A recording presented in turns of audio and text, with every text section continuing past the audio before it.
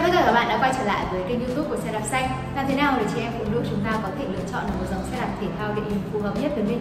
Hãy cùng với Hải theo dõi ngay trong video dưới đây và những lưu Điều đầu tiên khi mà các bạn nữ muốn mua xe đạp thể thao thì các bạn lưu ý điều đầu tiên đó chính là về trọng lượng của chiếc xe. Về trọng lượng của chiếc xe thì nó do rất là nhiều những yếu tố quyết định.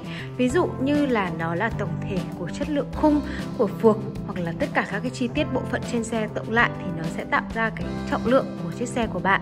Nhưng chủ yếu nó vẫn là về bộ khung và phuộc. Thì như các bạn thấy rằng là có rất là nhiều những chất liệu để làm khung của xe đạp thể thao và một trong những chất liệu rất là phổ biến đó là thép nhôm, carbon.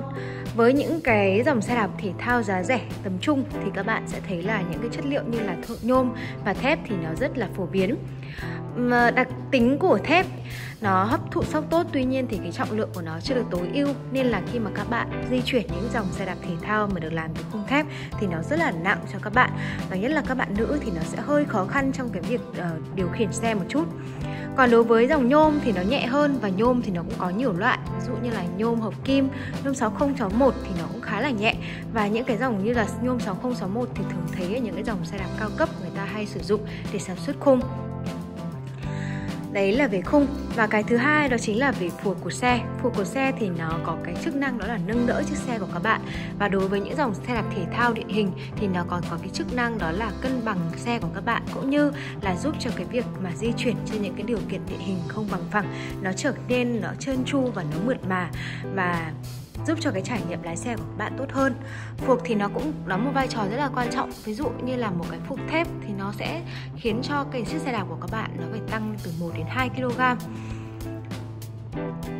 Với một chiếc phuộc nhôm thì nó tối ưu cái trọng lượng của các bạn hơn. Vì vậy cho nên là phuộc cũng rất là quan trọng trong cái việc lựa chọn cái trọng lượng của xe đạp. Điểm lưu ý thứ hai đó chính là về cái kết cấu của chiếc xe này. Như các bạn thấy là trước mặt các bạn đây đó chính là dòng xe Motam Durian Là dòng xe chuyên để dành cho các chị em phụ nữ. Và các bạn có thể thấy là cái kết cấu khung của nó thì rất là đặc biệt. Các bạn có thể nhìn như sau.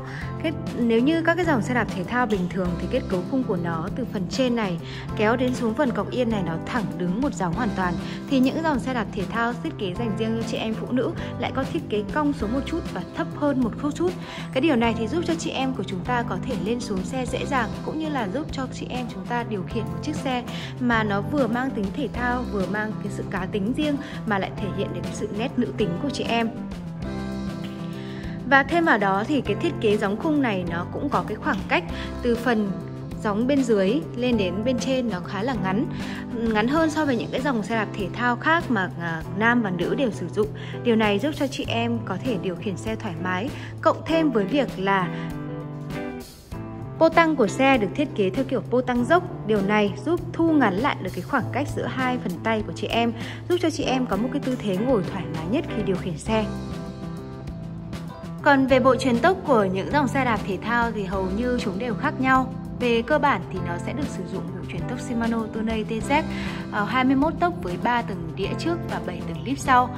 Lốp xe thì cũng thường là lốp 26 x 1.95 với những gai lốp bám đường như thế này. Và Hải cũng xin giới thiệu thêm về cái dòng xe đạp ngày hôm nay. Dành xe đạp thể thao dành cho chị em phụ nữ với mức giá chỉ hơn 4 triệu và chưa đến 5 triệu đồng Thì các chị em phụ nữ có thể sở hữu một dòng xe California Motam Durian. California là một cái thương hiệu của Mỹ Và cái dòng xe này nó mới du nhập vào cái thị trường Việt Nam trong một vài năm gần đây. Và cái đặc điểm của dòng xe này đó chính là đa dạng về các dòng xe mẫu mã Và cái giá cả thì của nó thì cực kỳ là phải chăng dành cho các chị em và với cái cấu hình mình có thể review qua đó chính là với cấu hình về tay bộ chuyển động Shimano.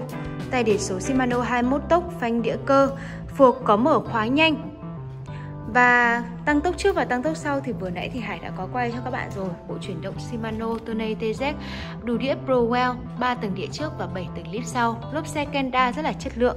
Cầu yên cũng như là các cái phần trục đều có mở khóa nhanh và đặc điểm là cái thiết kế yên xe của cái dòng xe này nó rất là mềm và bản yên khá là dày Đấy, rất là êm, giúp cho các chị em có thể điều khiển xe mà không lo bị ê nhức mông cũng như là hầu như là không cần phải trang bị đệm yên nếu như mà các chị em đạp 20 30 km vẫn có thể rất là ok.